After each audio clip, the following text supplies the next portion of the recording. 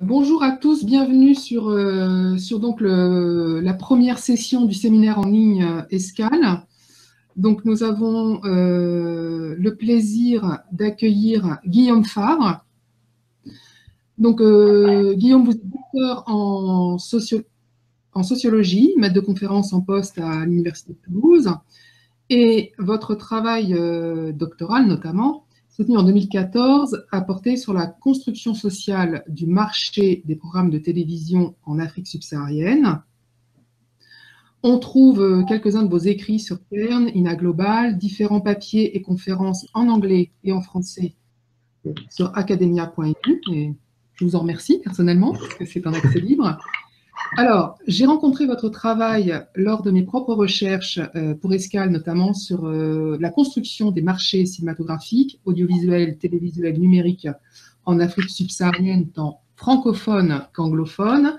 Et je vous témoigne ici un vrai coup de cœur scientifique pour votre travail que j'ai lu avec attention, donc votre thèse, que j'ai lu en format papier dans l'ambiance euh, studieuse et magique de la magnifique bibliothèque de Paris-Dauphine où nous pouvons, nous, non titulaires, encore aller, maintenant que la Fondation euh, des sciences politiques, pourtant bénéficiaire de fonds publics, nous exclut. Mais ça, c'est une parenthèse fermée. Alors, aujourd'hui, pour les chercheuses et les chercheurs qui nous suivent en ligne et en différé, euh, vous allez nous permettre de comprendre l'intégration du marché africain des programmes de télévision, soit d'un marché, euh, d'une offre de programmes, comprendre cette intégration des marchés de l'Afrique subsaharienne à la mondialisation. Pour cela, vous nous proposez l'étude d'un salon international de programmes de télévision que vous nommez de manière anonymisée Promo Show. Je m'autorise à dire peut-être qu'il s'agit du Discope Africa. Peut-être. Mon interlocuteur. Ah. Non? Pour rentrer un peu les choses. Oui, oui, pour garder un image, je préfère vous dire peut-être. Ah, gardons l'anonymat. Donc le salon Promotion, euh, qui, se, passe donc sur le continent africain. Euh, alors, euh, et donc en fait, ce salon international de programmes est une réplique de ce qui se passe d'ores et déjà depuis des décennies sur les continents européens, américains et également asiatiques, Corée, Japon. Et il faut simplement savoir, donc pour le cas français, on peut évoquer le MIT TV à Cannes, euh, même le marché international du film adossé au Festival international du film de Cannes. Il y a également beaucoup de, de transactions au niveau des programmes audiovisuels. Ça, c'est pour nos auditrices et auditeurs euh, plus peut-être un peu spécialisés en cinéma, pour qu'ils se repèrent. Il faut savoir que participer à un salon, à ce type de salon où se font les échanges marchands hein, de contenu, pour un professionnel, représente un très grand investissement financier en déplacement, en coût d'accréditation, en location de petits espaces de promotion. Et il y a vraiment une sélection par les moyens financiers qui est absolument draconien. Là, vous nous proposez une étude autour de professionnels de salons internationaux qui se déroulent donc sur le continent africain même depuis 2010 environ. Par professionnels, juste quelques précautions définitoires pour euh, nos auditrices et nos auditeurs qui viennent de différents champs disciplinaires. Alors, par producteur, nous devons entendre un ayant droit conduit, encadre la création, la fabrication d'un contenu, d'un programme de télévision, d'un film. C'est un acteur de l'offre uniquement. Un distributeur international est un intermédiaire entre les producteurs et les diffuseurs. Alors attention, un distributeur international, sauf quelques sociétés très spécialisées par type de programme ou genre, est quand même une société qui vise à représenter les droits du plus grand nombre d'œuvres, de contenus, le plus grand nombre de territoires, de continents et sur le plus grand nombre de supports de canaux possibles. Comme il y a une volonté d'anonymat, je ne citerai pas le distributeur national le plus euh, important pour le continent africain, dont le siège social est à Abidjan. Alors, par chaîne de télévision africaine, il faut entendre, je pense, des chaînes éditrices de programmes, édition, le métier de la programmation, donc du choix, de la sélection de programmes, donc soit des métiers de compétences pour construire des grilles de programmation. Ces trois définitions étant faites, je n'en dévoile pas plus sur euh, ce que vous allez nous, apporter et nous transmettre. Et j'ai vraiment un immense plaisir de, vous passer la parole. Ben, merci beaucoup euh, pour, cette, euh, pour cette présentation élogieuse et merci beaucoup pour cette invitation. C'est un plaisir de, de, venir présenter, euh, de venir présenter et puis d'expérimenter aussi ce dispositif de présentation en ligne. J'ai jamais fait ça. J'espère pouvoir être à peu près à l'aise et euh, voilà. Donc, je, je demande d'être indulgent de ce côté-là. On pourra peut-être pas faire les présentations de manière aussi interactive qu'on les fait, on les fait en temps normal, mais je suis ravi en tout cas de, de tester ce dispositif merci beaucoup euh, pour cette présentation. Donc, effectivement, j'ai travaillé sur, euh, sur, la modélisation des marchés euh, de programmes de télévision et c'est ce dont je, vais vous parler maintenant. alors, c'est vrai que j'insiste un petit peu sur l'anonymisation la, de mon terrain parce que, bon, là, c'est pas, dans ce que je vais vous dire là, il n'y a rien, rien qui mériterait franchement l'anonymat, mais c'est pour, surtout dans le cadre de la thèse ou autre, il peut y avoir effectivement citation d'entretien qui pourrait amener à pouvoir identifier certaines personnes. C'est pour ça que j'insiste un petit peu de ce côté-là, mais c'est vrai que ce n'est pas non plus un enjeu, un enjeu, un enjeu euh, important. Euh, alors, je vais commencer, je vais vous faire ma présentation à partir d'un PowerPoint. Je vais essayer de partager mon écran et vous allez me dire si vous recevez bien. Parfait, très bien.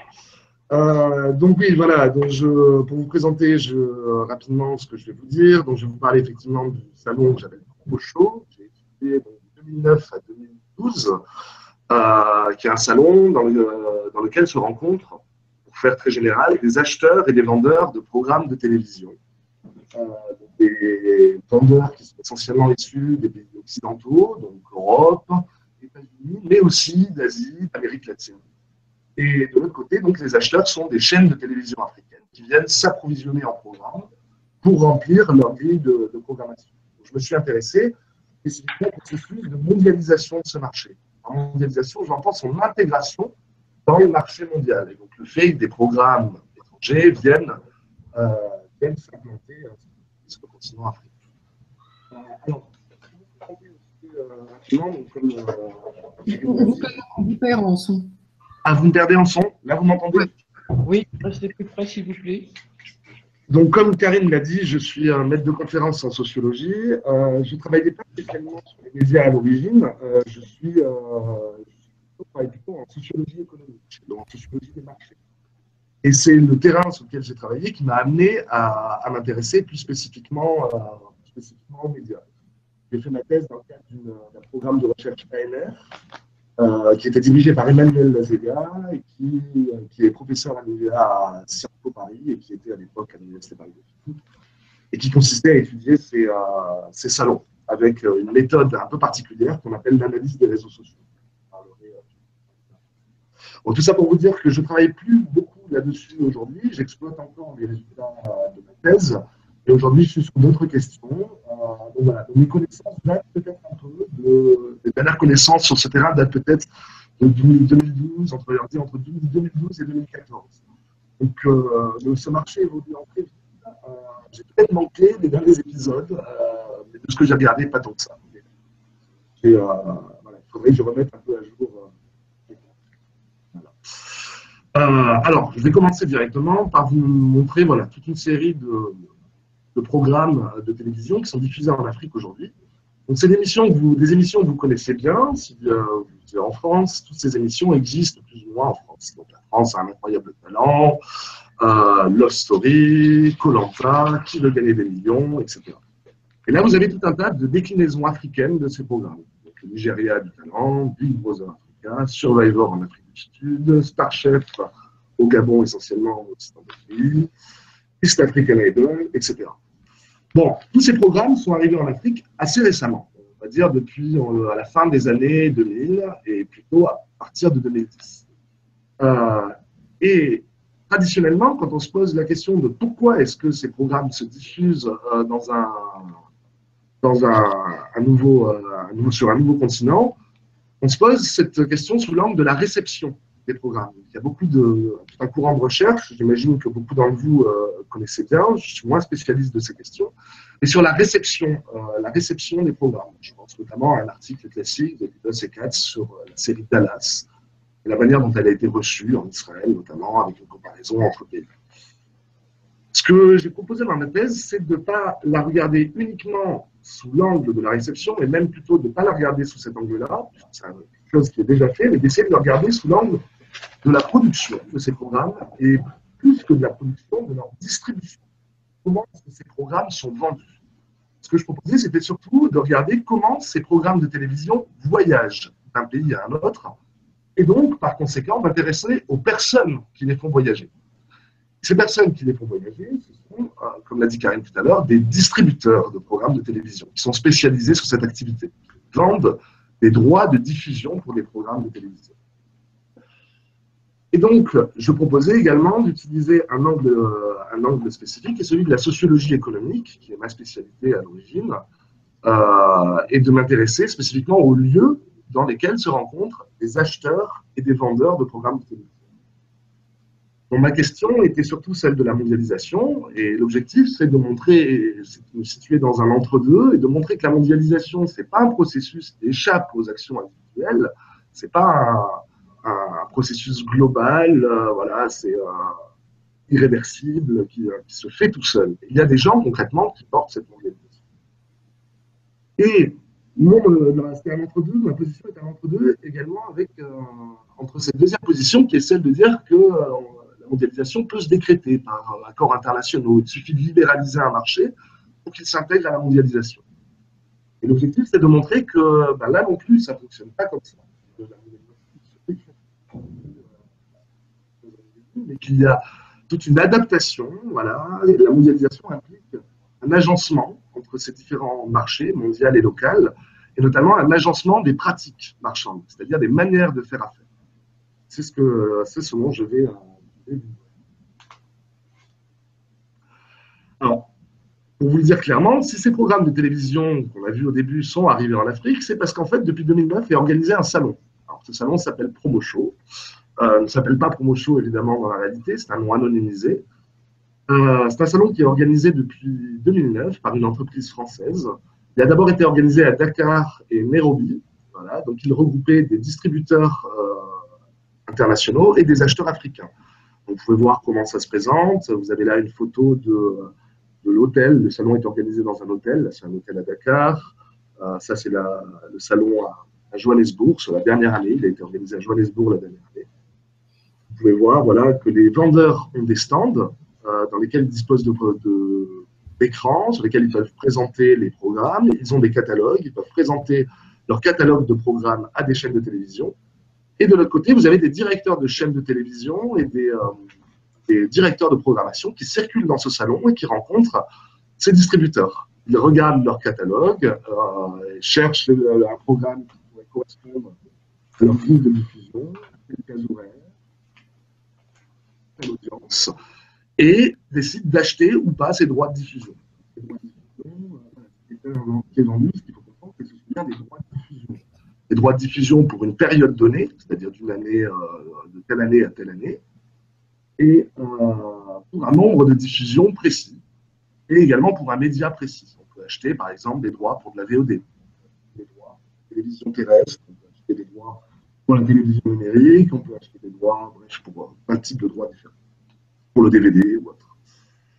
Euh, voilà, vous avez quelques petites photos qui vous montrent un peu comment ça se structure.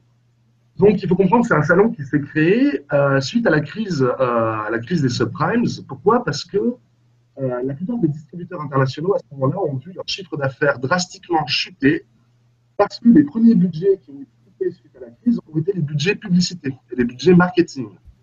Les chaînes de télévision n'ayant plus ayant moins de ressources, tout simplement, achetaient moins de programmes pour moins cher. Donc les prix ont chuté d'un coup. Les distributeurs ont vu leur marge baisser drastiquement et donc l'organisateur de salon a proposé, et euh, le développement de moment-là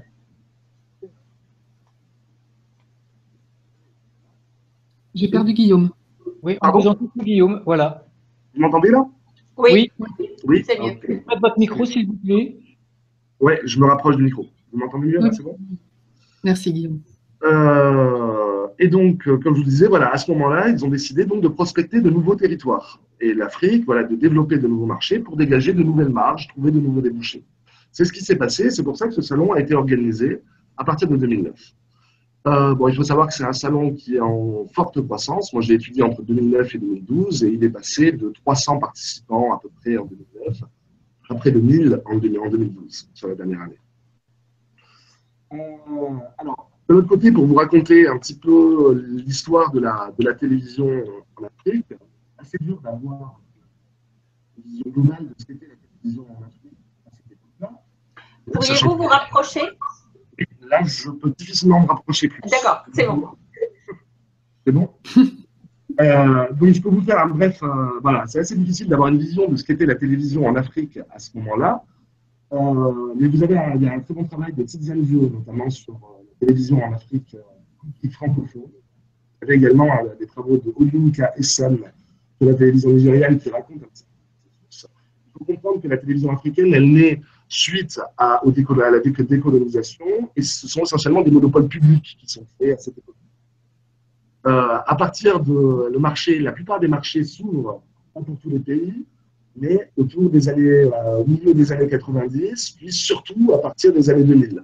Beaucoup de pays ouvrent leur, leur télévision à la concurrence, et vous avez de nombreuses chaînes privées qui sont créées dans certains pays, notamment au Congo, énormément de télévisions très éphémères ont été construites euh, plus récemment, vous avez également de nombreuses chaînes euh, privées qui ont été créées par des investisseurs étrangers, donc Canal+, Net, de télévision. Vous avez aussi des groupes suédois qui ont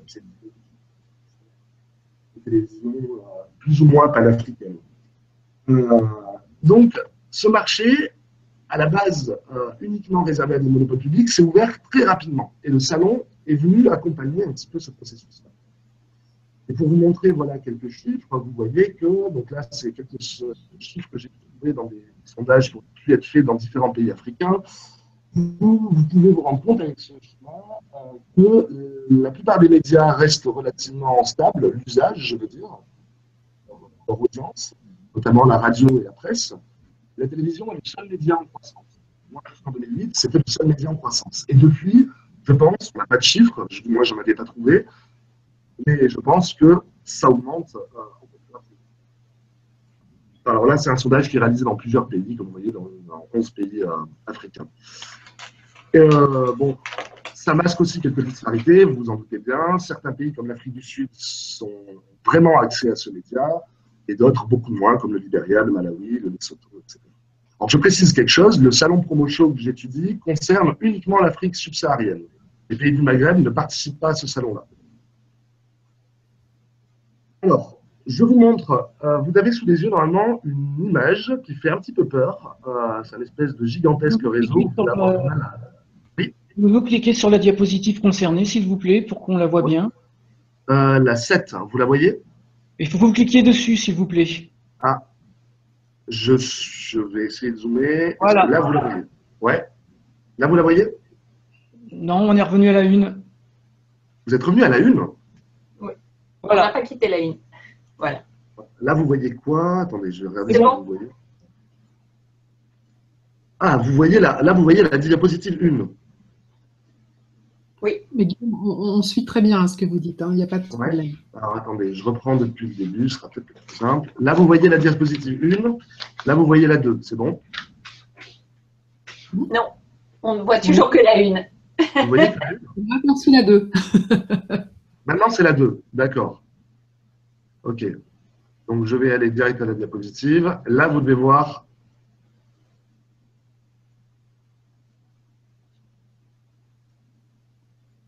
Qu'est-ce que vous voyez là? La une. Vous voyez la une Continuez, continuez. On comprend, en fait, on comprend très bien le...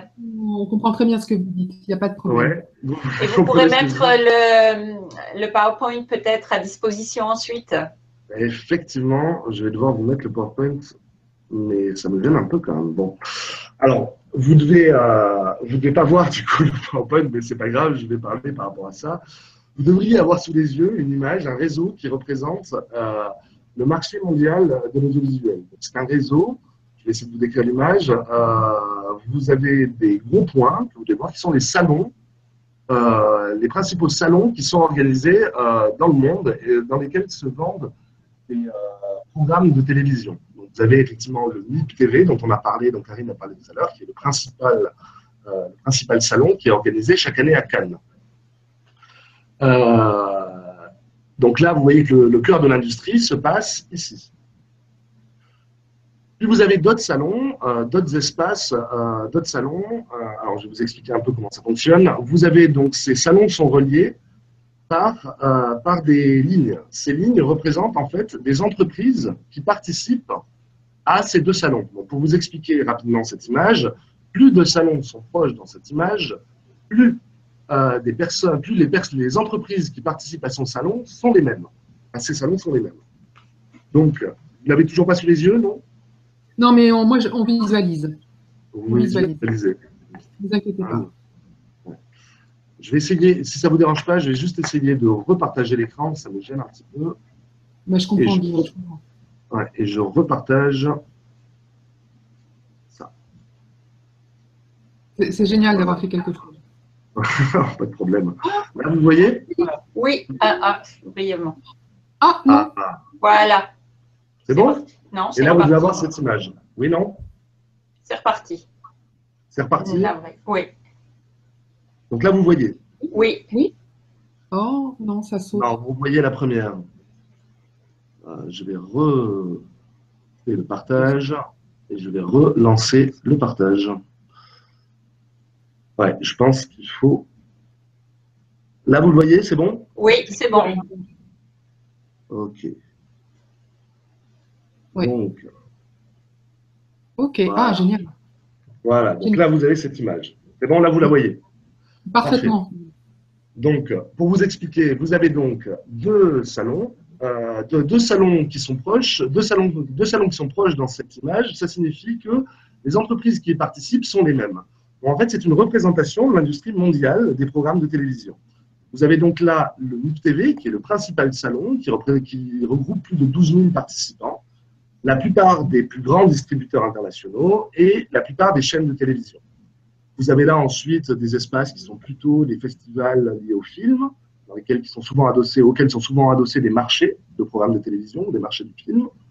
Vous avez là des salons euh, dans lesquels s'échangent des dessins animés, des films d'animation. Et vous avez là les espaces qui sont plutôt régionaux. Euh, le salon américain, notamment le NAPI, euh, dans lequel s'échangent des États-Unis pour l'Amérique latine. Et si vous voyez, l'Afrique, donc le Promo Show Africa, vous le voyez, est relativement, euh, relativement isolé dans ce marché mondial. Vous comprenez? Plus il est, euh, comme il est euh, périphérique, ça signifie que les entreprises qui participent, qui participent à ce salon, ne participent pas forcément, ou très peu, aux marchés mondiaux. Donc cette industrie, l'industrie africaine des programmes de télévision, est relativement marginale dans ce secteur par rapport aux autres. Vous avez normalement un graphique qui s'affiche sous les yeux, vous devez l'avoir. Oui, vous l'avez? Oui. Parfait. Et donc, sur ce schéma, vous pouvez voir donc, que les entreprises qui participent à PromoShow, les entreprises africaines qui participent au PromoShow, ne participent que très peu au Los Angeles Screenings, au NAPI ou au MIP TV, qui sont les principaux salons du marché mondial des programmes. Là où les autres entreprises européennes, asiatiques, américaines, qui participent au salon PromoShow, elle participe, participe beaucoup plus. Donc, euh, ce qui est intéressant de, à travers cette image, c'est de euh, comprendre le contexte de promotion. Ce n'est pas seulement la rencontre entre le marché mondial des programmes, entre l'industrie mondiale des programmes et les chaînes de télévision africaines, c'est aussi la rencontre entre plusieurs pratiques marchandes. Parce que ce marché ayant été relativement isolé pendant toute une période, il a son propre mode de fonctionnement, son propre manière de diffuser les programmes, euh, d'avoir accès à des programmes, etc. Alors, qu'est-ce qui diffère en Afrique par rapport à ce marché mondial? Alors, d'une part, il faut comprendre que jusqu'en 2012, il y avait très peu de mesures d'audience, contrairement à ce que vous pouvez trouver en France, aux États-Unis, etc. Euh, donc, très peu de mesures d'audience et des chaînes de Il n'y a pas vraiment de mesures objectives comme on peut en avoir en Europe. Il y a une chaîne qui fonctionne ou quelles sont les chaînes qui marchent, etc. L'autre spécificité, c'est qu'il y a une production euh, domestique de programmes, une production africaine, qui est relativement faible, euh, notamment en Afrique francophone. Je mets un gros bémol à ce que je dis, qui est évidemment le Nigeria. Vous devez savoir, euh, je pense que beaucoup d'entre vous, Le Nigeria est un des plus gros producteurs de films maintenant au monde, du moins en volume. Faire, c'est une autre histoire. Volume, c'est un des plus gros producteurs, des plus gros producteurs au monde. Mais qui s'est lui aussi développé sur un mode très spécifique et pas sur la vente des droits de distribution. Si vous connaissez un peu l'industrie dite de Nollywood, ça s'est développé essentiellement autour de la vidéo et de la vente de vidéos. Donc c'est un mode de fonctionnement qui est très particulier là aussi et qui n'a rien à voir avec la vente de distribution, euh, la vente de droits, pardon, comme on peut la connaître. Euh, c'est un secteur également en Afrique où les chaînes de télévision ont relativement peu d'argent pour financer la production des programmes de télévision.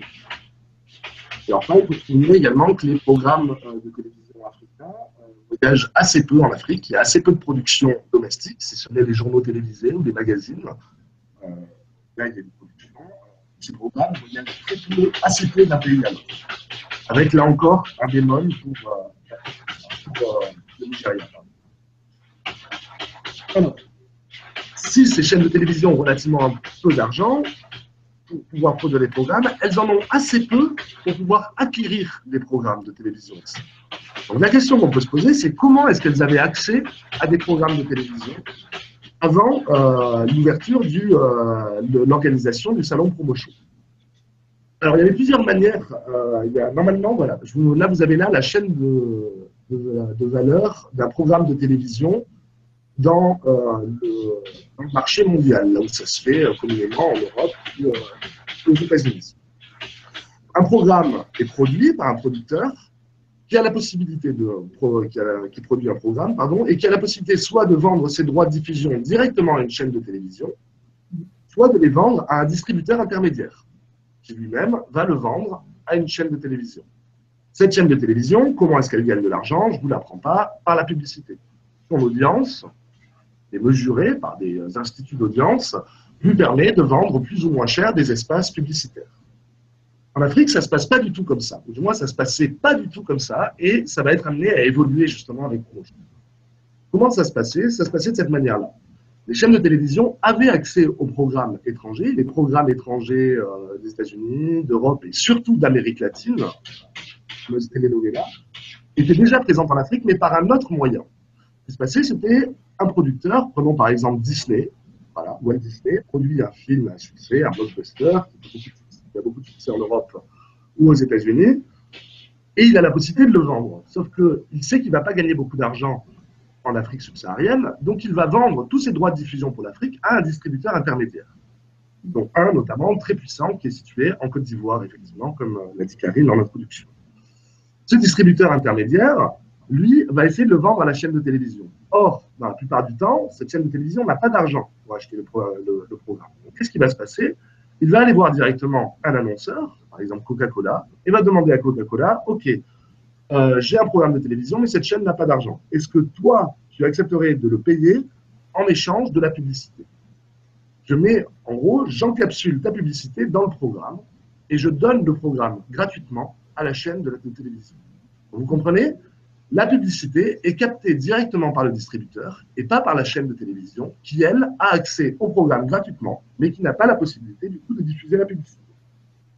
Le nombre d'annonceurs étant relativement faible dans beaucoup de, secteurs en Afrique, quand le distributeur a obtenu euh, l'accord de l'annonceur, il est très peu probable que la chaîne en obtienne aussi. Ça avait pour effet de bloquer, notamment en Afrique francophone, les grilles de programmation, les grilles, pardon, les grilles de programmation des chaînes qui n'avaient pas la possibilité de trouver d'annonceurs de leur côté et donc de gagner de l'argent. Donc, ces chaînes de télévision avaient accès à ces programmes gratuitement via, les, euh, via ce système qu'on appelle le bartering. il y avait une autre possibilité qui, est, euh, le, qui était le don de programme par des opérateurs publics étrangers. Donc la France donnait, par exemple, beaucoup de programmes gratuitement. Euh, ça se fait depuis très longtemps, hein, depuis la création des chaînes de télévision publiques en Afrique la France donnait, euh, par exemple, ces, programmes-là. Alors, récemment, ça se faisait à travers l'organisme Canal France International, dont certainement beaucoup d'entre vous doivent, connaître. Euh, certains, beaucoup d'entre vous doivent connaître. C'est un, organisme qui, euh, qui, était piloté par le ministère des Affaires étrangères, qui construisait une banque de programmes, essentiellement français ou francophones, et les donnait gratuitement à ces chaînes de télévision. Euh, vous avez également la Chine qui a fait ça. L'Union soviétique faisait ça à l'époque. Les États-Unis le font encore aujourd'hui à travers l'organisme Voice of America. Bref, les chaînes de télévision ont accès, pour beaucoup d'entre elles, à des droits de diffusion gratuitement via ces opérateurs. Et enfin, il y avait un troisième moyen pour acquérir des programmes aussi, qui était tout simplement le piratage. C'est-à-dire que ceux qui connaissent un petit peu la, télévision en Afrique, du moins dans certains pays, euh, certaines chaînes euh, achetaient tout simplement un DVD et le diffusaient à l'antenne, ce euh, ce, ce, qui, a pu arriver dans certains pays dans lesquels il y avait notamment un grand, très grand nombre de chaînes privées assez peu viables. et vous, pouvez encore le voir aujourd'hui, j'ai eu l'occasion de le voir à plusieurs reprises, notamment avec les retransmissions sportives. Capte le signal d'autres chaînes et diffuse euh, un match de foot. Donc il existait, en gros, euh, ces programmes de télévision étaient déjà diffusés en Afrique, euh, d'une certaine manière. Mais ce qui change vraiment avec Show, c'est la rencontre. Quand on montre cette image-là, je vais avoir sous les yeux encore, quand je remonte ce réseau, qui est important de comprendre à travers ça, c'est que c'est plus que la rencontre entre des acheteurs et des vendeurs. Entre des gens qui ont un mode de fonctionnement et des gens qui ont un autre mode de fonctionnement. Et à travers Show, l'idée, c'est euh, d'harmoniser, et ça, ça se retrouvait beaucoup dans le discours notamment de l'organisateur, d'harmoniser ces pratiques. Euh, euh,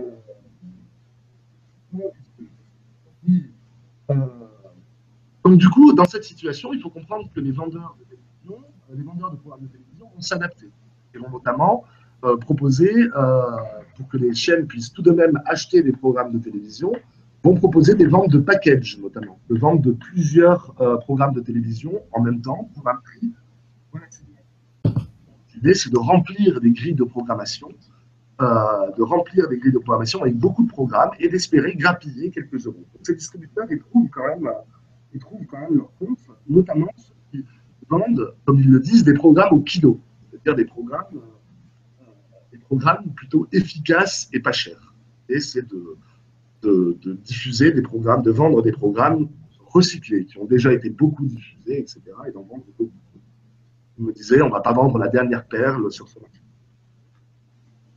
Donc, ce qui est intéressant dans Promo Show, c'est que sur ce salon, en fait, coexistent plein de modes d'achat et de vente de programmes de télévision, du bartering, du don de programmes, parce que les organismes comme Voice of America ou Canal France International sont sur ce salon et donnent des programmes mais également euh, des formes de vente euh, plutôt de ce type, packaging. Donc, euh, donc c'est assez intéressant de ce côté-là de, de voir cette, cette rencontre. Une autre précision que je dois vous donner aussi, c'est que du coup, c'est une rencontre qui peut être vraiment exotique pour certains, certains distributeurs, certains acheteurs. J'ai rencontré, j'ai eu l'occasion de rencontrer pas mal d'acheteurs de programmes de télévision, de chaînes de télévision qui venaient, euh, qui venaient de se créer, donc des directeurs de chaînes, euh, qui n'avaient par exemple jamais acheté de programme de télévision de leur vie. Mais vraiment, euh, qui, se rendaient pour la première fois sur ce salon pour acquérir du contenu. Et pour certains, j'ai pu rencontrer certains qui ne savaient pas qu'ils venaient acheter des droits de diffusion et qui pensaient venir acheter des DVD j'ai pas mal d'histoires de, ce type. Un vendeur notamment d'un major américain qui rencontre une chaîne de télévision euh, nouvellement créée, une chaîne de télévision catholique euh, d'un pays francophone, euh, nouvellement créée. Et ils ont, elle lui a passé un DVD, ça se fait assez couramment de donner un DVD, un échantillon de programme pour pouvoir le visionner par la suite et voir si ça aurait un intérêt pour la programmation. Et le, l'acheteur, le directeur de, la chaîne, euh, dit Ah super, on va pouvoir le vendre, on va pouvoir le diffuser demain, euh, demain à l'antenne. Là, elle s'est énervée, elle a dû lui expliquer Non, écoutez, vous n'avez pas le droit de le diffuser, il faut que je vous vende avant ça les droits de distribution. Donc vous avez, bon, ça c'est un cas marginal, un cas extrême, mais c'est pour vous montrer qu'on peut rencontrer, voilà, euh, dans ce salon, des pratiques qui n'ont absolument rien à voir les unes avec les autres. alors, pour revenir un petit peu, généralité, euh, les, euh, euh, les salons ont été pas mal étudiés en sociologie, mais aussi en économie ou en géographie ou en sciences de l'information et de la communication, même en gestion. vous avez tout un courant de recherche qui a essayé de montrer comment est-ce que ces, ces, salons participent à la construction des industries, à la construction des marchés. Donc là, vous avez tout un tas de références qui travaillent sur ces questions-là. C'est ce que j'ai essayé, moi, de, montrer dans ma thèse, c'est comment, par quel mécanisme, le salon promotion participe à la définition de normes marchandes communes et de pratiques communes. Euh, c'est ce que euh, j'ai essayé de montrer. C'est ce dont je vais vous parler un petit peu plus en détail ici. Euh, donc, je mobilise un cadre théorique qui est basé sur cette question de, assez contemporaine en sociologie économique, celle des agencements marchands. consiste à étudier comment est-ce que l'offre et la demande se rencontrent en gros concrètement. Et comment est-ce qu'il faut prendre en compte tous les dispositifs, mais aussi toutes les personnes qui entourent et qui construisent concrètement j'ai également adopté une perspective dite culturaliste sur les marchés, voilà, notamment j'appelle culturaliste, euh, notamment dans l'approche de Bourdieu, dans ses travaux sur l'Algérie, ou dans l'anthropologie économique, euh, c'est d'Anna Zelizer de Florence Weber. De vous présenter tout ce cas. Euh, c'est l'idée de comprendre, d'étudier concrètement les pratiques concrètes pour faire affaire dans les c'est euh, spécifiquement ici. Euh, et j'ai mobilisé également, et c'est surtout ça qui est au cœur de mon travail, l'analyse des réseaux sociaux, qui est une méthode un petit peu particulière euh, en, sociologie, en sociologie, qui consiste à étudier les relations, les structures relationnelles. Je vais vous montrer ça tout à l'heure. J'ai étudié notamment qui rencontre qui sur ce salon, qui discute avec qui et quelle structure ça forme. J'ai essayé d'étudier ça de manière dynamique pour essayer de comprendre euh, comment se structurer petit à petit cette, euh, industrie. Euh, je vous donne quelques références du coup sur cette question, sur cette question que j'ai traitée. Je ne vais pas vous parler de tout ici, mais si ça vous intéresse, vous pouvez aller vous référer à ces trois papiers que j'ai publiés avec mon collègue Julien Brailly, qui a fait sa thèse également sur les salons de programmes de télévision, en Europe de l'Est, un salon équivalent pour l'Europe de l'Est. donc vous pouvez lire, si ça vous intéresse, vous pouvez aller regarder ces contributions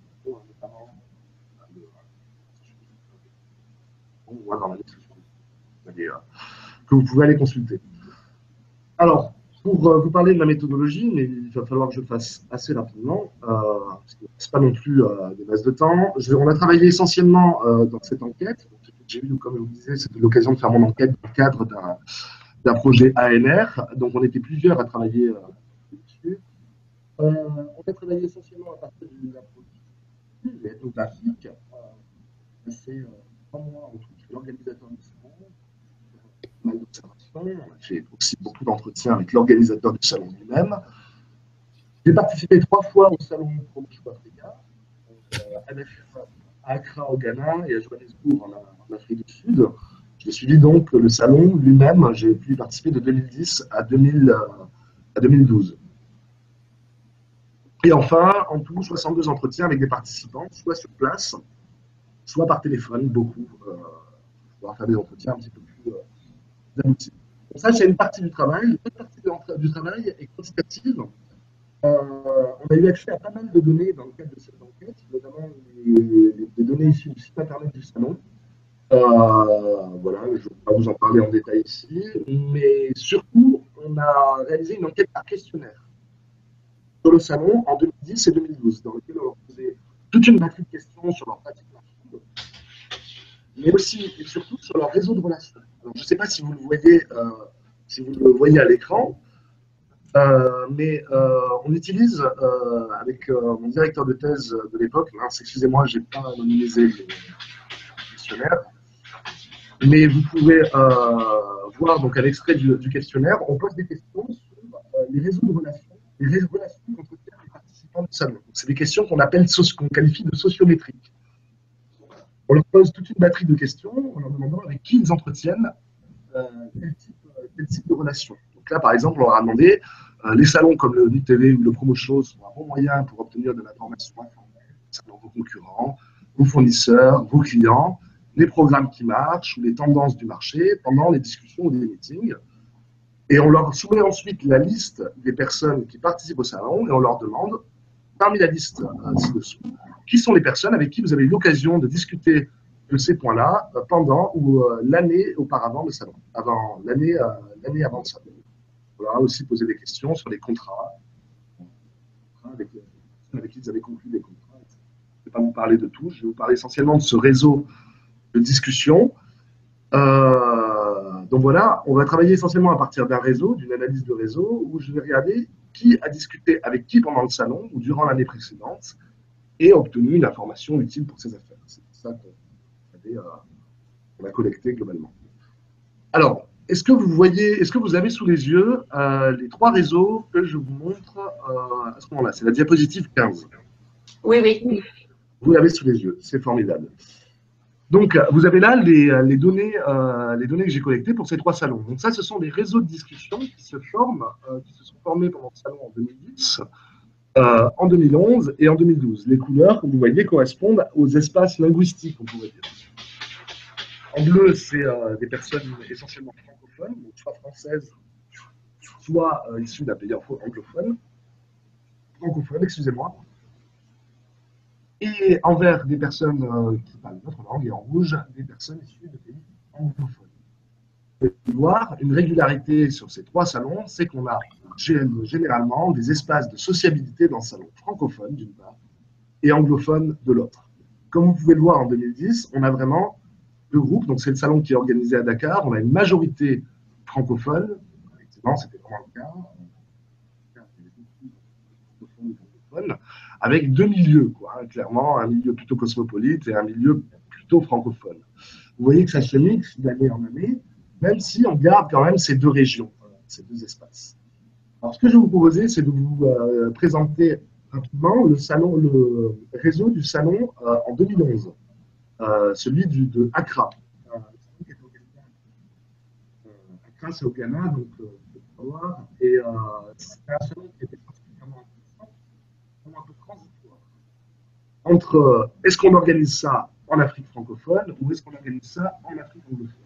Et euh, Accra, c'était un peu l'entre-deux, puisque c'est, euh, le Ghana est une enclave anglophone en Afrique de l'Ouest francophone. C'est vraiment un pays, un pays assez typique. Et c'est une année charnière et celle qui, du moins dans les données, représente le mieux pour moi ce qui a été le choix africain pendant ces, ces trois années. C'est ce que je vais essayer de vous présenter là vous avez ce réseau, euh, ce réseau de discussion et j'utilise une méthode euh, qu'on appelle le block modeling qui consiste à simplifier ce réseau. Alors, je vais vous l'expliquer rapidement.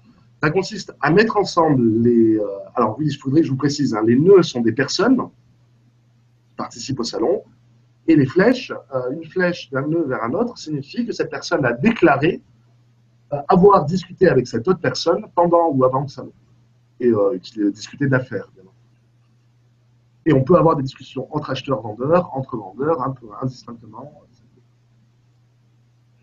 Donc, je simplifie ce réseau avec une méthode. C'est une méthode qu'on appelle le block modeling. Ça consiste à mettre ensemble les individus qui se ressemblent le plus. Alors, qui se ressemblent le plus, ça veut dire qu'ils demandent, ils discutent, pardon, avec les mêmes personnes et ils ne discutent pas avec les mêmes personnes.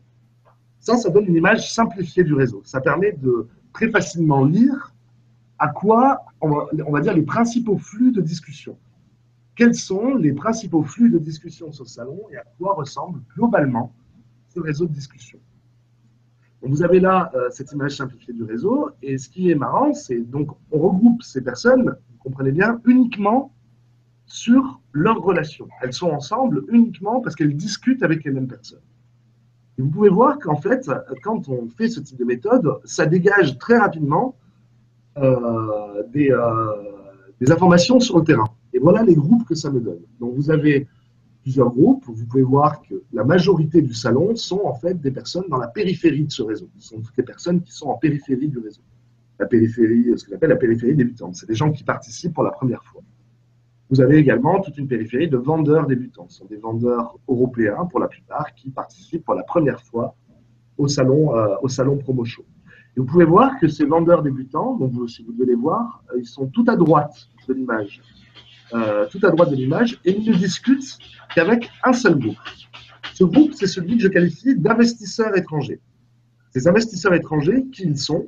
Ce sont des, euh, des investisseurs européens, sud-africains, qualifie d'étrangers, pour le cas de sud-africains, on pourrait trouver la question, mais sud-africains, européens, notamment scandinaves pour certains, et américains qui viennent créer des chaînes de télévision en Afrique.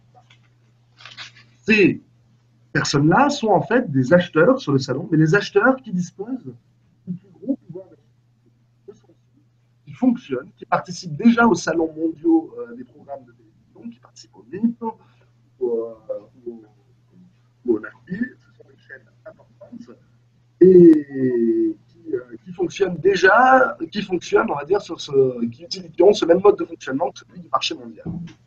Donc ce sont, comme vous pouvez le voir, ces vendeurs débutants ne sont en contact qu'avec ces investisseurs étrangers. Ils viennent en Afrique, mais rencontrent des gens qui finalement pourraient rencontrer ailleurs. Vous pouvez voir que ces personnes discutent entre elles, ces investisseurs étrangers. Une flèche qui revient à la On va discuter entre eux.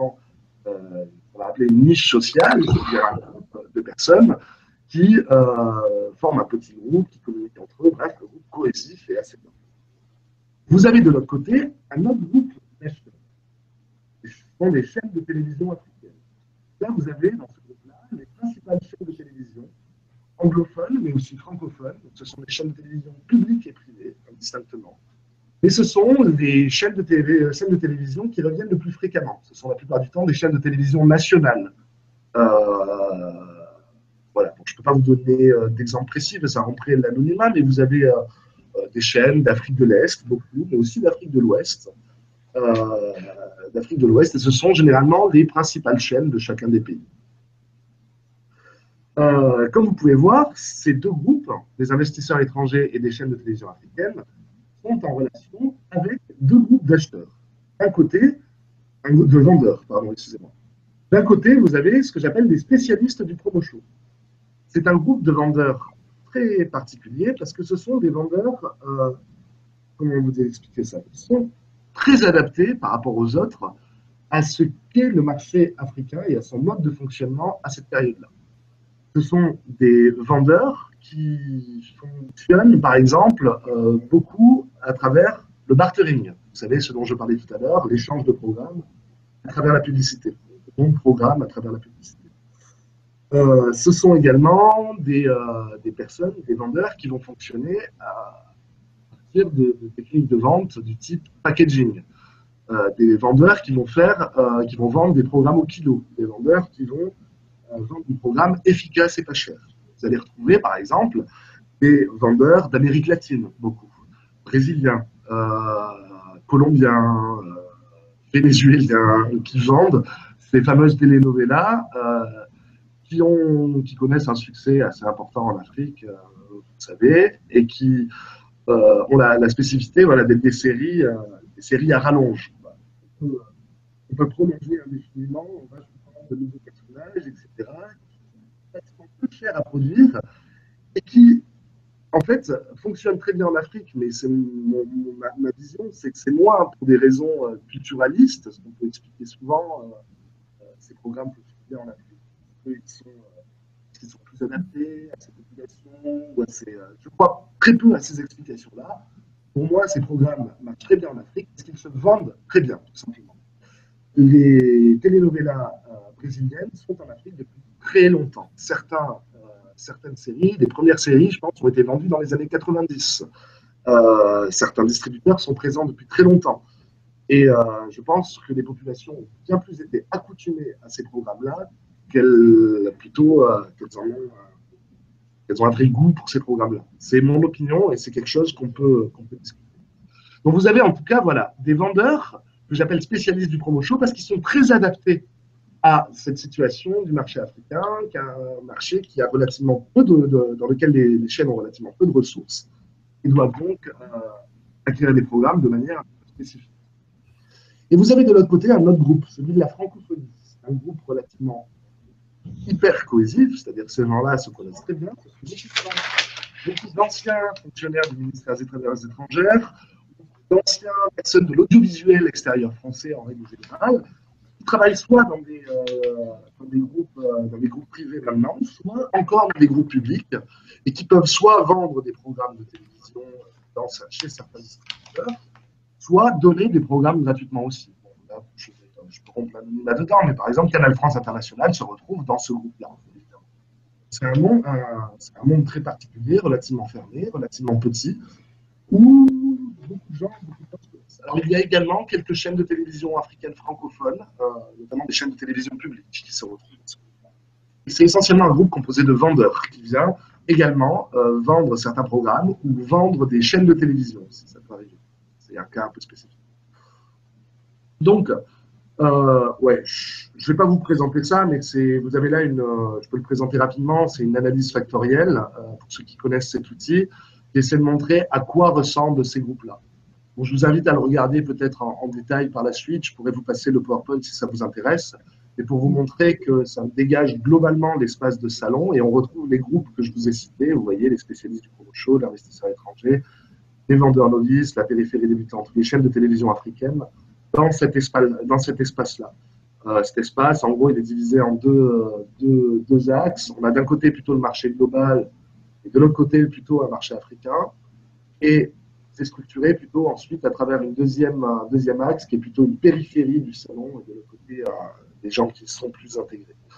Euh, comme vous pouvez le voir, on retrouve très bien les groupes dont je vous parle là, les spécialistes du promo show, qui la francophonie, qui font clairement partie de ce marché euh, mondial des programmes, donc ces investisseurs étrangers, et de l'autre côté, les chaînes de télévision africaines ou la périphérie des puissances, qui est beaucoup plus africaine en règle générale. Et notamment, la périphérie est composée du salon est composée essentiellement de producteurs locaux, de producteurs nigérians notamment, qui viennent vendre leurs des, droits de, des droits de distribution ou trouver des, euh, des coproducteurs ce salon. C'est pour ça qu'on les retrouve et ils sont, comme vous pouvez le voir, beaucoup plus en périphérie de ce, de ce réseau-là.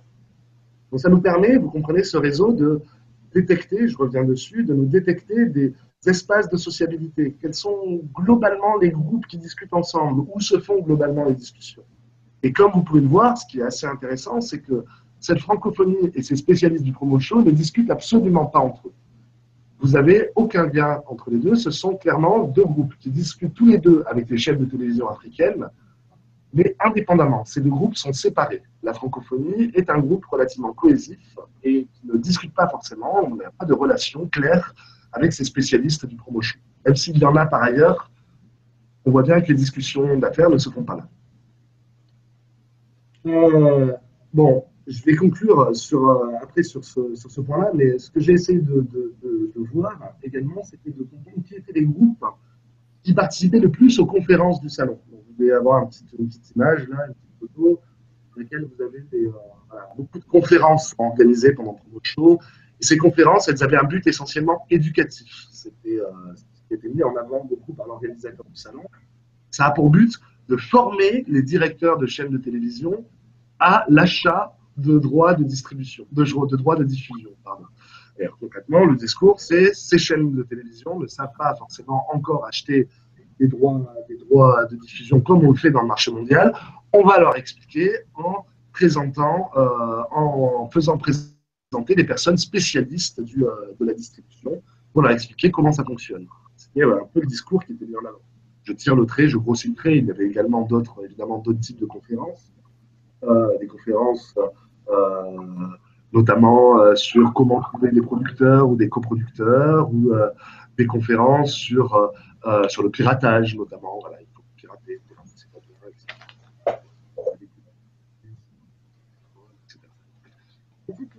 il, avait, il permettait de faire passer certaines idées. Et quand on regarde qui participe à ces conférences, évidemment, ce sont ces deux groupes. Les principaux groupes euh, dont on parlait là, sont essentiellement ceux de la francophonie. 53% de ce groupe ils ont participé à ce salon.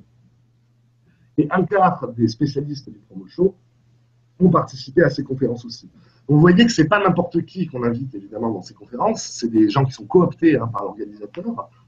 Euh, vous voyez que ce sont assez, même jamais, des gens de la périphérie du salon. Ce ne sont évidemment pas des petits producteurs nigérians qu'on invite dans le cadre de ces conférences. Quelques chaînes de télévision sont parfois invitées, etc. Et essentiellement, on va avoir soit des journalistes, je pense notamment à des journalistes sud-africains qui comment ça fonctionne, soit des gens de la francophonie, des anciens du, euh, du, ministère des Affaires étrangères, soit des, euh, distributeurs historiques en Afrique, euh, notamment ceux qui fonctionnent en marketing ou ceux qui, ceux qui euh, des distributeurs de telenovelas, ils participent aussi évidemment. Donc, vous pouvez voir que, clairement, les personnes qui font passer, qui sont cooptées qui font passer les, leurs idées, ce sont finalement ces deux groupes-là. Fait. spécialistes du salon et, et ce groupe de la francophonie. Et donc, je ne sais pas si vous avez ces radars sous les yeux, ces images.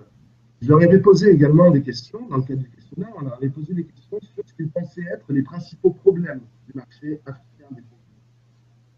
Je vous invite à regarder surtout euh, les euh, spécialistes du salon, les spécialistes du show, et ce groupe de la francophonie pour voir qu'est-ce qu'ils mettent en avant le plus dans leur discours, ce qui est le plus important pour eux, de leur point de vue, à régler euh, en Afrique pour que le marché se développe mettre le plus en avant, vous voyez, pour les spécialistes du show, ce sont essentiellement le développement de mesures d'audience. Manque concrètement en Afrique, ce sont les audiences. Ça ne permet permet pas, permet pas de savoir qui sont les chaînes qui fonctionnent le mieux, ça ne leur permet pas de, dégager, de des bénéfices, et ça ne leur permet pas du coup d'acheter des programmes. Faut développer J'ai perdu Guillaume. Pardon? Non, je vous ai retrouvé, mais je ne vous entendais plus. Excusez-moi. Ah, Donc, ce que je vous disais, c'est que ce qui est important pour eux, c'est de l'audience pour pouvoir euh, distribuer les programmes. Le, la régulation du piratage est également euh, les gemmes de c'est les programmes donnés gratuitement sur site. Le but, euh, si on veut créer un marché des programmes de télévision, il faut arrêter de les donner gratuitement. Et ça, c'est attaqué directement. Canal France International, Voice America, ou tous ces distributeurs qui donnent gratuitement des Et vous avez de l'autre côté la francophonie qui met en avant bien autre chose, euh, notamment le financement de la production locale, euh, la régulation du piratage, ça c'est le cas aussi, c'est commun pour eux, mais également augmenter l'échange de programmes de télévision africains en Afrique, entre les pays. Alors il faut savoir que, savoir que ce n'est pas anodin non plus leur objectif à, la francophonie, notamment ceux de l'audiovisuel extérieur français, l'objectif c'était de placer, notamment sur les dernières années, de placer la production francophone au cœur de leur stratégie. Donc l'idée, c'est beaucoup plus de protéger les productions francophones face aux productions anglophones, et notamment nigérianes, qui ont pris d'ailleurs depuis un, une importance incroyable. C'est aujourd'hui, euh, les, programmes nigérians sont diffusés dans la plupart des pays africains et connaissent un grand succès parce que ce sont parmi les seuls programmes africains. Et à côté de ça, évidemment, l'Afrique francophone a du mal à relativement faire, euh, à faire, euh, à faire face. Et donc, la francophonie, notamment Canal France International, a essayé de mettre ça au cœur de cette stratégie sur les dernières années. Euh, donc l'idée, vous voyez bien, c'est beaucoup moins la question des mesures d'audience ou la diminution des programmes gratuits. Évidemment, c'est au cœur de leur, de, leur, de leur, préoccupation. Donc on a là quand même deux visions. Hein. Je ne sais pas si on peut appeler ça un rapport de force, parce que j'ai pas eu l'impression qu'il ait vraiment émergé clairement, mais il y avait clairement deux visions qui s'opposaient dans ce marché. Et petit à petit, du fait de l'organisation du salon et de son déplacement petit à petit vers l'Afrique anglophone, c'est plutôt cette deuxième vision qui a eu l'air de s'imposer, celle des, spécialistes du salon. Des mesures d'audience, il y en a de plus en plus aujourd'hui en Afrique, en Afrique francophone et en Afrique anglophone. Les programmes gratuits sont de moins en moins nombreux, du moins la France n'en donne plus. Canal France International a arrêté, euh, je ne sais pas où ça en est aujourd'hui, arrêté leur euh, programme en 2015, c'est ce que j'avais vu. Et il faudrait que je regarde pour les autres pays, mais c'est peut-être le cas aussi. Bref, ce marché est par ailleurs, on retrouve de plus en plus de régulations de pays qui essaient de mettre en place des, formes de régulation autour du piratage. Donc ce salon a quand même eu cet effet-là, de transformer cette industrie, et je pense que ces conférences et ces discours, et surtout les personnes qui les portaient, n'ont pas été sans effet concrètement sur euh, cette organisation. Ce que j'essaie de montrer, c'est que cette vision s'imposait peut-être petit à petit. Alors j'ai du mal à voir par quel mécanisme, mais concrètement, on observe que c'est plutôt cette deuxième vision qui s'est imposée, celle des spécialistes du coach. Alors, je vais conclure ma présentation parce que je vois qu'il est déjà 18h05 et j'arrive à la fin. Euh, ce que j'ai essayé de vous montrer voilà, dans cette euh, approche-là, vous voyez que j'ai assez peu finalement parlé des programmes eux-mêmes, parce que je ne suis pas un spécialiste des programmes eux-mêmes. Un peu, j'ai essayé, euh, essayé de, documenter pas mal, hein, j'ai essayé d'en visionner pas mal aussi, pour essayer de voir concrètement de quoi, de quoi me parler ces descripteurs euh, euh, ce qui m'a intéressé, c'est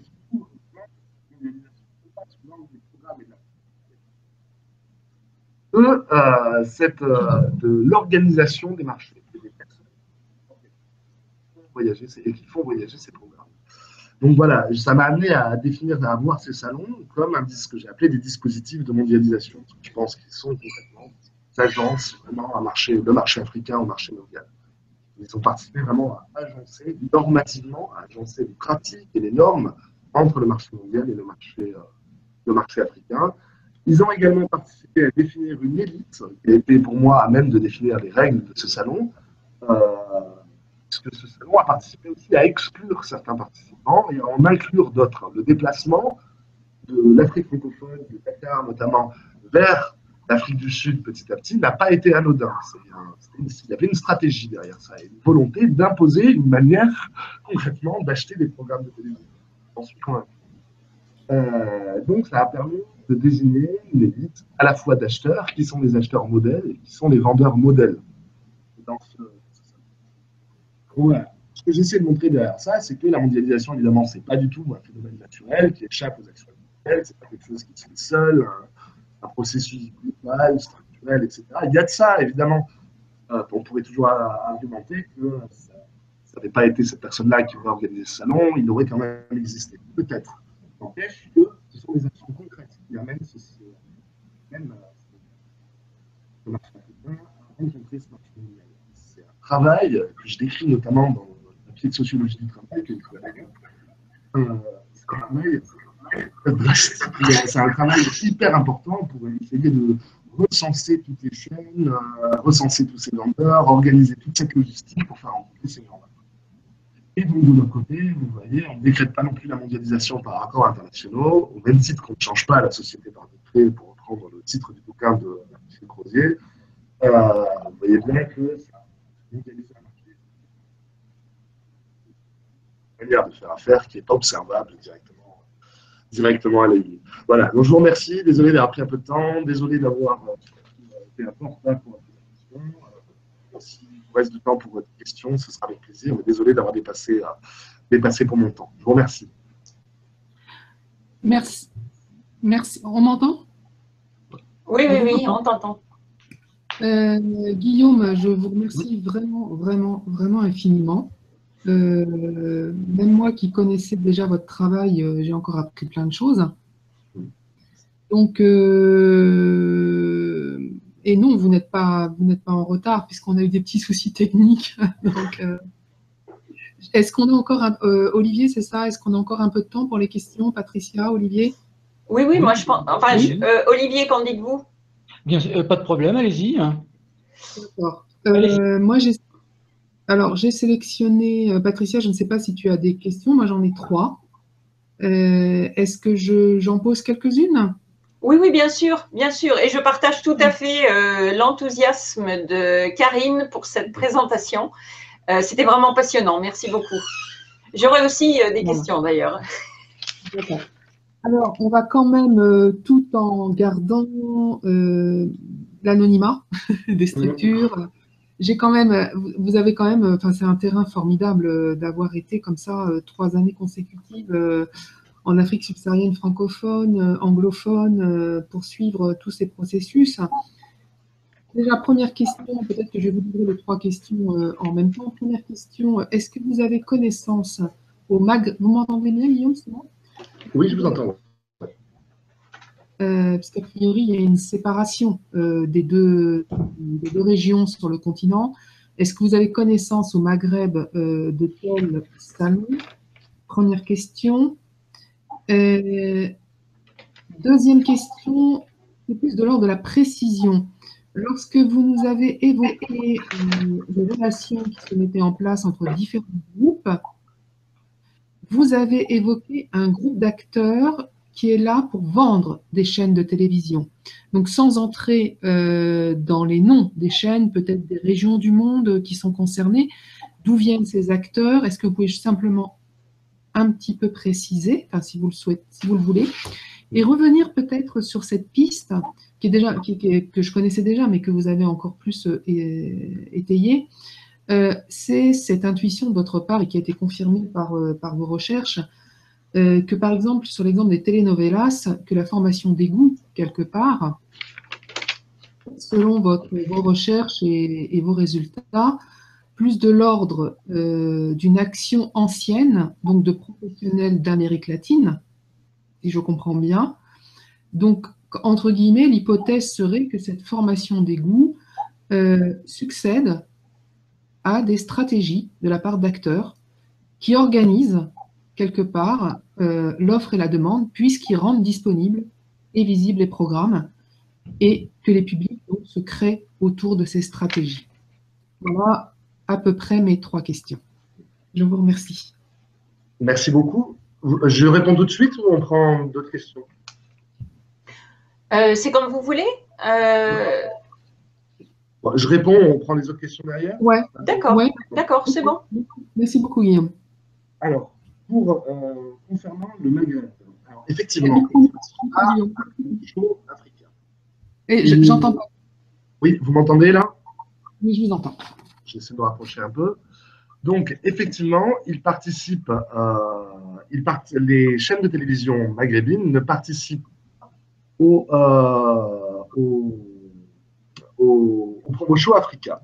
Euh, elles y ont très peu participé. Le Maghreb était. J'ai vu très peu d'acteurs issus du, euh, Maghreb. Euh, Peut-être quelques distributeurs à certains moments, mais c'était vraiment très très marginal. Le, les chaînes de télévision maghrébines participent. Je pense qu'elles participent au MIP, il faudrait, il faudrait se renseigner. Et ils participent surtout, effectivement, à un salon, je crois que c'est à ça que vous pensez, au Promo Show Istanbul, du coup, qui est le dernier salon créé en date, euh, en date, qui a été créé par le même organisateur salon, euh, et qui a créé ça en partenariat, euh, en partenariat, en parallèlement à celui qui l'a organisé deux années plus tard, je crois. Euh, ça m'aurait passionné d'étudier aussi en parallèle la, construction de ce salon-là. bon, ça aurait fait beaucoup, c'était pas, pas imaginable. De ce que je connais pour, ces pays-là, en tout cas, c'est effectivement euh, là aussi, vous avez certains pays qui s'imposent dans ce genre de situation. Et là, ce sont moins les, les Brésiliens ou les Latino-Américains en règle générale, mais beaucoup plus les Turcs. Alors, à l'origine, c'était les, ce que j'en sais, les, chaînes les programmes égyptiens qui avaient beaucoup de succès. Euh, ils ont connu euh, quelques difficultés, je pense notamment peut-être après les révolutions, je ne suis pas certain. Aujourd'hui, ce sont essentiellement les séries turques qui fonctionnent très bien. Voilà, et c'est piloté surtout par, par ces par, euh, par ces acteurs-là. Alors, je pense que les problématiques sont différentes euh, sur ce salon-là parce que je pense qu'ils participaient déjà aux salons mondiaux euh, des programmes de télévision, du moins beaucoup d'entre eux. La spécificité, pourquoi est-ce qu'ils avaient besoin quand même d'un salon, je pense, j'ai jamais, jamais demandé, notamment à l'organisateur du salon, pourquoi est-ce qu'ils avaient organisé ça, mais je pense que c'est, lié peut-être à une spécificité culturelle, effectivement. Certains programmes ne peuvent pas être diffusés ne seront pas diffusés dans le monde arabe et euh, peut-être qu'il y a une offre qui peut être particulière. Par exemple, les Égyptiens produisaient des programmes spécifiques pour le ramadan, pour la période du ramadan. Euh, donc, ça a peut-être donné lieu, effectivement, à des, programmes spécifiques, mais qui sont là peut-être liés à une ère culturelle. Je suis quasiment certain que c'est ça. Et je crois que dans le mode de fonctionnement, etc., je ne crois pas qu'il y ait de différence fondamentale avec ce qui se fait, euh, ce qui se fait au, aux États-Unis ou en Europe. Mais ça vaudrait le coup d'aller regarder ça.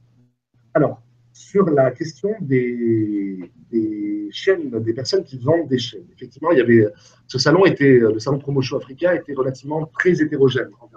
Là, c'est vrai que je grossis très en essayant de vous montrer, c'est la rencontre entre des chaînes de télévision et des distributeurs. Mais en fait, il y a beaucoup d'autres gens, euh, beaucoup d'autres gens dans ça qui, notamment, essaient de placer des chaînes de télévision, euh, chaînes de télévision sur des plateformes, euh, sur des plateformes euh, équivalente à ce qu'on aurait en France avec Canal Satellite, etc. Orange, Free. Euh, les, on essaie de placer dans des bouquets des chaînes d'information, des chaînes, euh, chaînes un peu particulières, spécialisées soit sur les télénovelas, soit sur euh, des programmes d'Hollywood, des programmes de Hollande, etc. Donc vous aviez effectivement toute une activité de gens qui, dont le but n'était pas de vendre des programmes, ils rencontraient des chaînes de télévision, mais pour leur, euh, ils rencontraient pas des chaînes de télévision, pardon, ils rencontraient des plateformes des télévisions, type MF pour, pour l'Afrique du Sud, euh, Wananchi pour le Kenya, enfin bon, bref, sont des plateformes, euh, pour essayer de les convaincre de, positionner leur chaîne dessus. Alors évidemment, la francophonie était très, très fait partie ils sont pour, beaucoup dans le groupe de la francophonie parce que vous avez beaucoup de chaînes françaises ou francophones qui, qui venaient sur le salon avec cet objectif-là. Se diffuser, bon, je autant ne pas, ne, là, c'est pas bien mais imaginez France 24, TV5 Monde ou Euronews qui venaient sur ces salons pour essayer de positionner ces, chaînes de télévision sur ces. Donc là, la, problématique est différente pour eux. J'ai moins, moins travaillé sur ces personnes-là. Voilà, la rencontre vendeur, mais il y aurait également toute une question hein, sur la. Et je pense que c'est beaucoup travaillé. Hein. J'ai lu quelques textes là-dessus. Il y a déjà pas mal de, personnes qui ont travaillé sur, la, diffusion, l'information euh, dans les pays, parce qu'évidemment, on diffuse des points de vue. Al Jazeera était présent aussi. Voilà. Et du côté euh, des telenovelas et de la formation des groupes, moi je suis assez convaincu par cette hypothèse-là. Euh, alors je dis pas que ça, comme je vous dis, je suis pas un spécialiste des questions de réception. Euh, il faudrait que je, travaille beaucoup plus ces questions-là. Et ce serait, ce serait vraiment, ça pourrait être des recherches passionnantes, hein, mais de se, essayer de voir de manière historique. je pense qu'il faut regarder de manière historique comment des programmes se sont implantés, etc. Et là, on ne peut pas nier que certains programmes sont plus efficaces, euh, atteignent plus facilement certaines, populations, vendent, vendent euh, voilà, les programmes américains vendent du rêve, euh, ils vendent une certaine vision du monde, etc. Effectivement, qui peut, qui peut amener beaucoup de populations à, apprécier ces films plutôt que d'autres. Et je pense qu'on ne peut pas faire abstraction de toute l'organisation économique qu'il y a derrière. Et c'est. et pour les télénovelas, je suis à peu près convaincu que c'est vraiment ça le processus. Euh, on pourrait me rétorquer que les programmes français étaient diffusés avant, euh, avant par l'intermédiaire de Canal France International ou autre. C'est vrai, ils étaient déjà présents. Et pour les programmes d'ailleurs qui étaient diffusés, ça fonctionne assez bien. Vous savez, par exemple, j'avais un, j'ai un cas, par exemple, d'un acheteur qui m'a dit, euh, d'un acheteur d'Afrique francophone, qui m'a dit avoir acheté euh, l'émission C'est pas sorcier. Il a acheté tous les droits qu'il pouvait de C'est pas sorcier parce qu'il a découvert cette série via Canal France International. Donc cette, euh, cette, euh, cette opération Canal France International n'a pas été inutile non plus. Et c'est vraiment le cas. Les, émissions de, qualité qui ont été diffusées via euh, ces opérateurs publics ont clairement eu un effet ensuite sur le marché. Et je pense, et c'est quand vous, quand vous regardez ce qui s'est passé avec les télénovelas, c'est exactement le cas. Ils sont venus, les premiers distributeurs de télénovelas, j'ai eu l'occasion de rencontrer, je crois, je crois, un des tout premiers, du moins c'est comme ça que lui, se présente, il est venu en Afrique dès 92, je crois, de ce qu'il me disait, via un petit salon. je crois que c'est 92, je me trompe peut-être. Un, petit salon qui était euh, organisé par la SABC en Afrique du Sud, euh, qui s'appelait le Chitengi. C'était un petit salon dans lequel euh, SABC réunissait toutes les personnes qui diffusaient ces programmes en Afrique subsaharienne. Et donc, certains distributeurs internationaux venaient également.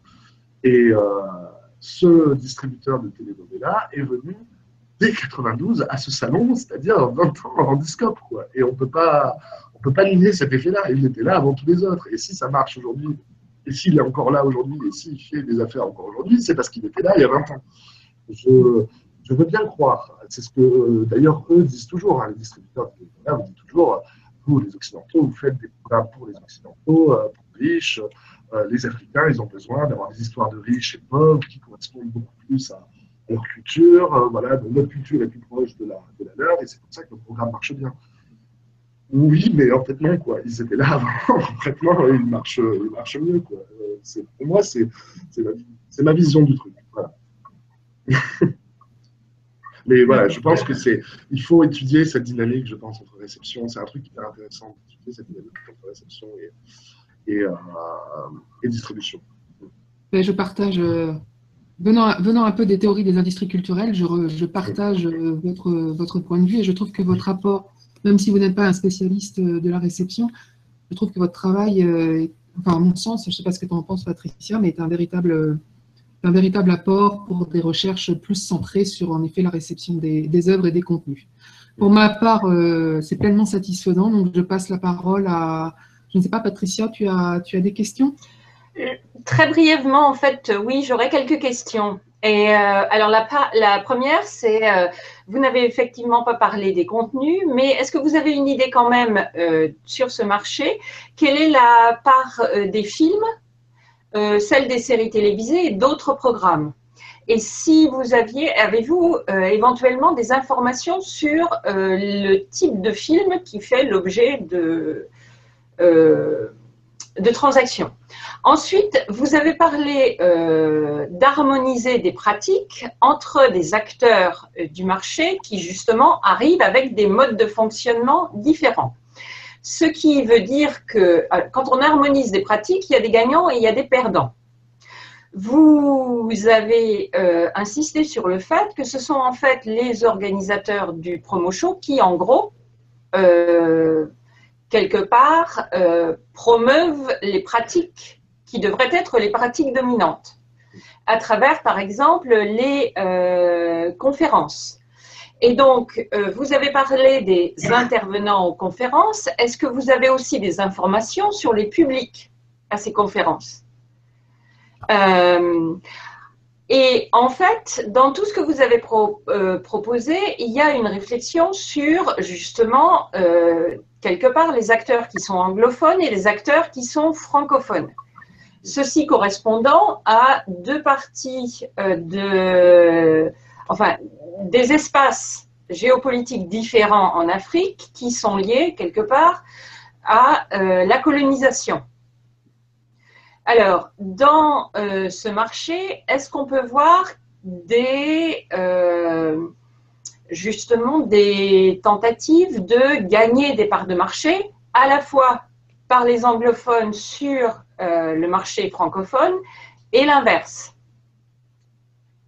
Et en fait, euh, je relis ça, euh, il me semble, aux travaux, euh, d'Alessandro Jedlowski, qui travaille sur Nollywood, et la façon dont, justement, on essaye d'importer, d'exporter certains modes de, de production anglophones dans des espaces francophones à travers des productions qui seraient plus internationales. Et la, dernière question que j'avais très rapidement, c'est est-ce qu'il y a une spécificité des droits de diffusion qui se développe sur les marchés africains? Alors rapidement, parce qu'on est déjà un peu tard, mais euh, si vous aviez quelques... je sais, ce sont des questions euh, complexes et larges. Je vais voir, ce, que, je peux voir, mais c'est merci beaucoup alors, là, je reprends alors, sur les types de films, est-ce que je connais la part des films et séries? Alors, j'ai écrit un petit papier dans l'INA Global, euh, dans lequel j'essaie de, de, montrer un peu les types. Je n'ai pas de chiffres concrets sur ce qui s'échange. J'ai des informations, par contre, sur euh, ce qui est globalement demandé. J'ai des données de, la plateforme du salon euh, dans lesquelles les gens disent le type de programme qu'ils recherchent ou qu'ils vendent sur le salon. Sur ce que ça peut, fait ressortir, c'est quand même que ils sont les programmes les plus demandés sont essentiellement effectivement des séries. Il y a assez peu de place pour les films. Les films, j'ai pas l'impression qu'ils s'échangent beaucoup ici. Il y en a quelques-uns, euh, euh, mais c'est pas vraiment, c'est pas vraiment les, films vous savez, quelques films d'Hollywood, tout ça, qui sont, euh, qui sont vendus, ou des, ouais, des films d'Hollywood, il y, en a, qui sont vendus, mais via les distributeurs intermédiaires. Les, majors américains, je l'aime un peu, mais ne vendent pas directement. Ils passent par des distributeurs euh, qui vont fonctionner eux-mêmes en marketing derrière. Les programmes les plus demandés, dans ce que je me rappelle, c'est clairement les séries et les films euh, dits Made in Africa. C'est-à-dire que les, chaînes de télévision sont hyper en demande de films africains fait, ça n'a pas beaucoup.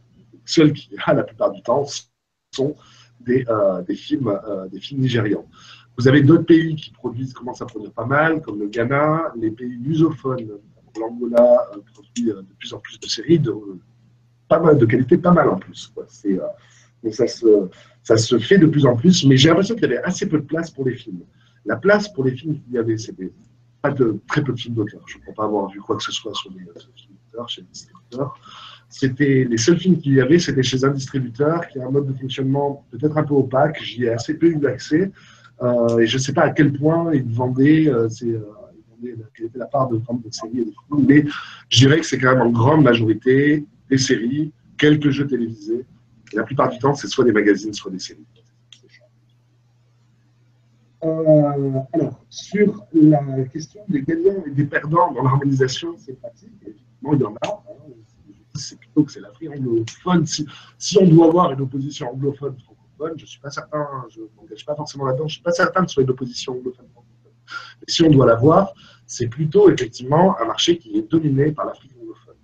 Alors, quelque chose que je n'ai pas précisé, euh, que j'ai vu récemment, un promo show il existe maintenant un promo show Africa à Abidjan qui est organisé. Donc un salon spécifique pour l'Afrique francophone. Donc l'organisateur du salon a décidé que, au moins hein, c'est comme ça que ça fonctionne, mais il a décidé que l'espace francophone était un petit peu à part, donc je vais organiser un salon spécifiquement pour l'Afrique. Donc c'est peut-être amené à évoluer de ce côté-là. Euh, mais dans ce que, le processus que moi j'ai étudié jusqu'en 2012, clairement c'était un marché, et c'est ce que disaient tous les acheteurs camerounais, ivoiriens, euh, que j'ai pu rencontrer, c'était que c'était de plus en plus, euh, de plus en plus un, marché, un, marché anglophone. Alors, en ce qui s'agit sur je parle de ça, quand vous parlez des, des, tentatives de gagner des parts de marché, c'est important, effectivement. Alors, on peut parler des tentatives de gain de parts de marché, euh, notamment sur les programmes africains. De ce côté-là, c'est très clair. Le rapport de force est très en faveur de l'Afrique anglophone quand l'Afrique anglophone est capable d'exporter euh, directement ces programmes. Euh, aujourd'hui, vous avez plein de pays dans l'Afrique francophone qui diffusent des, télévisions, des programmes d'Hollywood. Et vous avez notamment une chaîne de télévision, c'est très certainement Hollywood TV, qui a été créée par un Français et qui diffuse ces, séries dans la plupart des, pays francophones sur, sur bouquets. à l'inverse, le premier programme francophone qui a été vendu en Afrique anglophone, c'est donc un regroupement de producteurs dont j'ai oublié le nom, mais assez connu, j'ai oublié le nom, excusez-moi, qui a réussi à vendre pour la première fois un programme africain en 2014, je crois, un programme francophone, c'est un programme malien, je crois que c'était les Rois de Ségou, à vérifier, je suis plus sûr.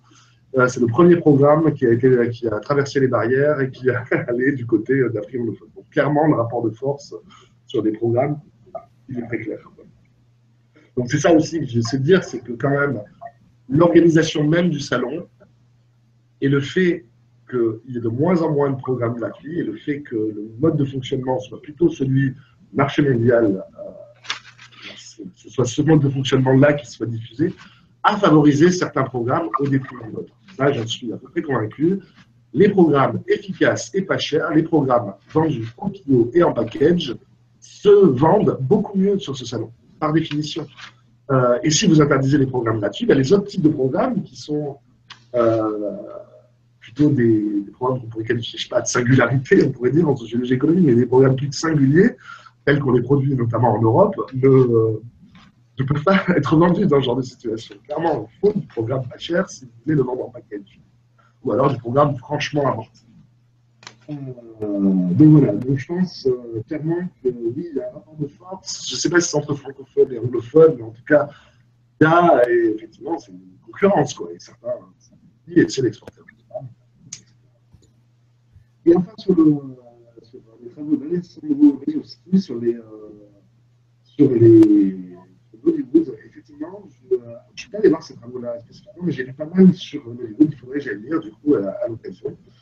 Euh, c'est hyper intéressant parce qu'effectivement, Hollywood, c'est une industrie euh, qui s'est développée sur un mode de fonctionnement qui n'a absolument rien à voir. C'est un extraterrestre, rien à voir avec ce qui se passe dans le monde entier, c'est un extraterrestre. Et, euh, et c'est passionnant d'étudier, euh, c'est vraiment le que le mode de, production et de même de distribution, parce qu'ils ont une distribution très spécifique, ils savent en gros que leurs programmes vont être piratés euh, sur les prochains mois, ils produisent énormément, du moins ils fonctionnaient comme ça à l'origine, ils produisaient énormément de DVD, et l'idée c'est de vendre toutes les productions originales le plus rapidement possible avant que le programme soit piraté. Et après, il sera piraté, donc on a déjà gagné de l'argent. Ça n'a absolument rien à voir avec le, le fonctionnement des copyrights aux États-Unis et autres, quoi. C'est dans, le monde. Et donc, de, d'arriver à observer ça, je trouve que c'est émotionnant de, s'adapte importe ces modes, de, ces, pratiques. Je pense que la Côte d'Ivoire peut-être doit faire ça, parce que j'avais vu quand même deux, trois producteurs qui essaient de fonctionner un peu de cette manière-là. J'imagine peut-être de ce côté-là qu'ils voient ça. Euh, c'est passionnant. C'est peut-être, je ne sais pas si c'est une solution pour eux, mais c'est passionnant. Alors, dans la distribution, c'est compliqué, mais dans le mode de production, c'est effectivement, euh, c'est une production qui est relativement sommaire, avec relativement peu de moyens, qui se produit très rapidement, avec. Euh, bon, bref, oui, euh, c'est hyper intéressant de savoir que ces modes de, fonctionnement peuvent, être utilisés. Mais je n'ai pas vraiment pu observer ça de mon côté. Merci. Ben, merci à vous. Il, il, semble que là, au fur et à mesure, la, la, la connexion devienne plus, plus, mauvaise quand même. Ah, J'ai juste perdu les deux dernières phrases de votre ah, intervention.